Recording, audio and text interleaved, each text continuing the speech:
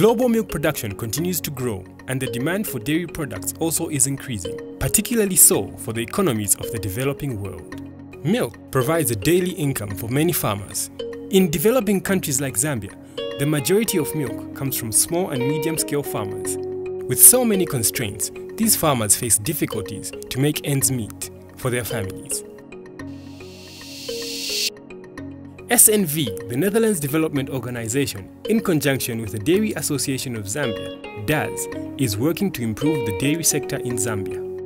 Dr. Sue Ellis, who is the country director for SNV in Zambia, explains the link between dairy and poverty reduction for the poor. For SNV, our primary modus operandi is looking at poverty reduction. Uh, our programs tend to target base of the pyramid populations um, but do so in a market-based solutions way. So what we tend to do is try and link uh, the poor with private sector processors, distributors, traders to enable poor to enter into the value chain. Now, in some of our areas where we work, uh, that can still prove difficult because, for example, if you look at the maize sector in Zambia, there's one production season, there's one rainy season. So there's a lot of the time where the farmer isn't actually getting any regular income. So to enable a farmer to get more income, we start to look at different types of productivity. And if you look at dairy, there is potential for a farmer to actually get income every month of the 12 months of the year.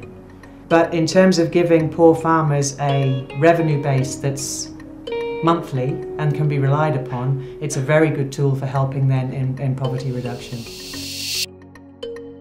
SNV has three primary areas in which it works, which are smart farmers, safe milk, and green cows. Uh, SNV has three primary areas in which we work, and we've given those tags. Uh, we talk about smart farmers, we talk about safe milk, and we talk about green cows. Um, for us, smart farmers are farmers who have a good knowledge of the technical skills required to produce the milk that they need. Um, and what we tend to do in countries is try and again involve private sector in provision of that technical uh, skills development for farmers because in that way it can be more sustainable. 80% of all raw milk produced in Zambia comes from smallholder farmers owning mostly local breeds and is worth $80 million. However, only 20 to 30% of this milk reaches the formal market. To improve the competitiveness of this type of farming, the milk supply has to be improved dairy farming has got the potential of helping the majority of people in Zambia because you can get a regular income out of it. However, we know that the amount of milk we have in Zambia is not sufficient to meet the demand for milk, which is why Zambia still has to import some milk from outside. The good part of it is that there is a lot of potential for all the small farmers to bulk their milk and sell. It's a, it's a bad thing because sometimes when you import milk from other countries, it means you're disadvantaging your own farmers here. Think about this briefly. All the milk that you find in the shop, that the milk that goes to Parmalat and all the former players in the chain, 80% of it is supplied by the big farmers. And only 20% comes from the small farmers like you. As you can see, the Zambia dairy sector has got a lot of potential, which is not being exploited. Mr. Brian Kapoto, who is the SNV Dairy Project Manager, explains what SNV in partnership with the Dairy Association of Zambia are doing to improve the dairy industry?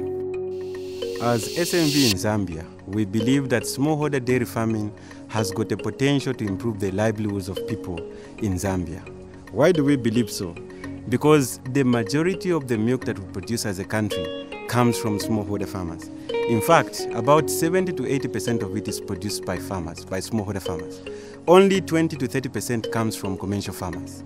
The challenge, however, is that the commercial farmers supply about 80% of the milk that goes into the formal market.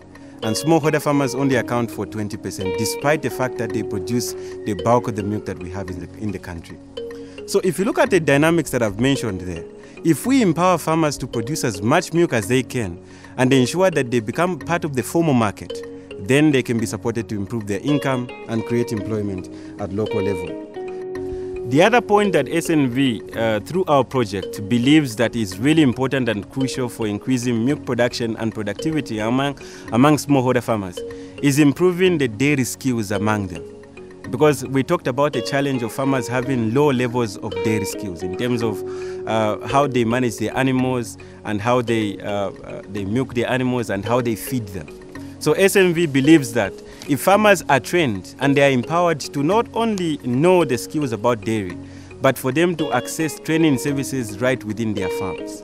Uh, SNV is promoting concepts like the Practical Dairy Training Center at Monze Cooperative.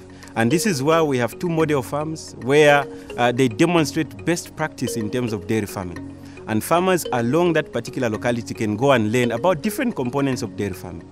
It could be in feed formulation, it could be in artificial insemination, it could be in breeding, it could be in cow rearing. So the different topics that we talk about are easily now accessible within the reach of the farm. The other challenge we're trying to address is uh, the lack of a proper commercial orientation in terms of dairy enterprise management. A lot of people look at dairy as a way of life, but not as a business. And so within our program as SNV, we're trying to ensure that farmers get the right attitude in terms of how to manage their milk enterprise. They manage it using business principles. The third component that SNV is trying to address within the Dairy Business Services Development Project is the issue of dairy services along the value chain for smallholder farmers. Because now, if farmers want to engage in effective dairy farming, they don't, they don't have access to inputs, to veterinary services, and other services that they may need right at the farm. And so that increases their cost of production because they have to travel to, to towns nearby to where they are for them to go and access the services that they need. But in this particular intervention, we know that over the past five years, their capacity to buy or to demand for services has been increasing because their milk production has been going up, meaning that income is improving at farm level. And so if their income is increasing at farm level, it means that their ability to demand for a service, it could be artificial insemination, it could be feed, it could be fodder, is improving. The challenge that we have is that the companies that can provide services such as AI, such as feed and fodder, are not aware about the increasing potential of the farmers where they are in the different locations. So what we're simply trying to do as SNV is to help bridge that information gap between the farmers and the companies that may supply services that, services that farmers need. And what we're simply doing is that we broker business relationships between cooperatives and other companies to ensure that they mutually understand what each of the two players are doing and that deals can be made in terms of how farmers can access services right at the farm where they are. And SNV can help demonstrate that potential by facilitating these brokerage meetings that farmers can be part of, for farmers to showcase their potential to other input suppliers, and input suppliers can get a deeper insight into what the farmers are capable of doing. We believe that if that information gap is bridged, then deals can be made between farmers and cooperatives, and that can help lower the cost of production. So SNV has come in, I think the strategies that they're using, they are handy in the sense that they're able to assist our farmers uh, have a well-developed market arrangement. What we are doing with them is to sort of uh, create or change the milk collection center from just uh, being areas where they can supply the milk, but uh, we are turning them into a hub of a lot of activities. Zambia generally in the Zambia sector, the dairy sector is growing very fast, about 20% every year. Um, currently, uh, the milk production is about 400 million liters. However, despite all that production, you still find we have a deficit of about 3 million liters in a year. Now, uh, that basically means that uh, we have to import milk and then form of powder, which is then reconstituted uh, by the local processing uh, companies. so there's lots of opportunity, I think, for the sector to grow. I think it's a sector to watch. Uh, it's a sector that can be able to address issues of income uh, and employment among the Zambians. And we speak to some farmers and service providers on the ground to tell us more about the challenges they face and also tell us about the opportunities the dairy sector brings to better the lives of farmers. Farmers generally in Zambia, small scale farmers, they are more knowledgeable in maize production or in crop production. Why? Because I think extension package is biased towards uh, crop.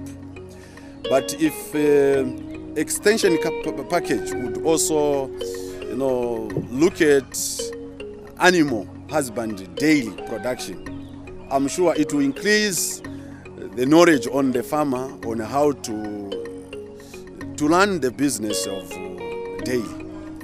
The only problem is at the moment most of the farmers they only know how to produce maize. You know, business you need to have knowledge.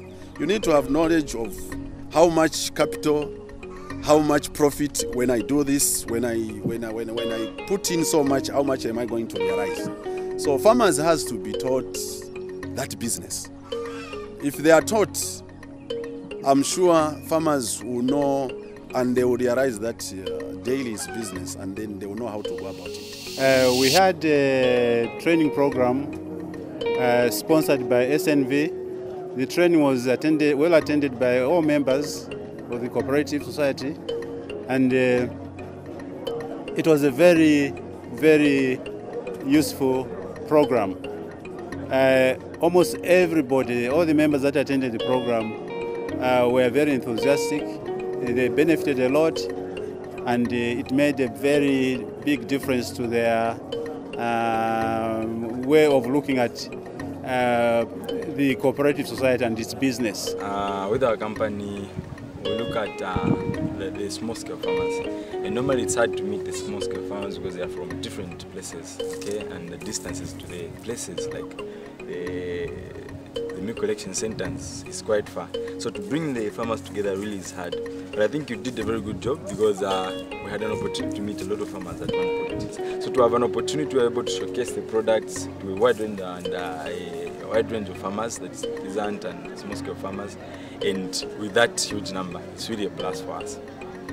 But from the way farmers are appreciating the same events, uh, because that uh, uh, a privilege to see the companies come, and also the companies themselves, of they're, they're able to see how willing the farmers, the smallholder farmers, are wanting the services. And uh, actually, most of the cooperatives have actually get, gotten contacts for these uh, companies so that they can get linked and so that those pro- uh, uh, those uh, services could be brought closer to them. SNV believes that well structured market relationships between dairy cooperatives and private input suppliers can benefit both the farmers and the input suppliers, which can lead to increased income of smallholder farmers, thereby raising their quality of life. At the business brokerage meetings, input suppliers met with hundreds of smallholder farmers and identified the growing demands of the rapidly growing dairy industry in Zambia.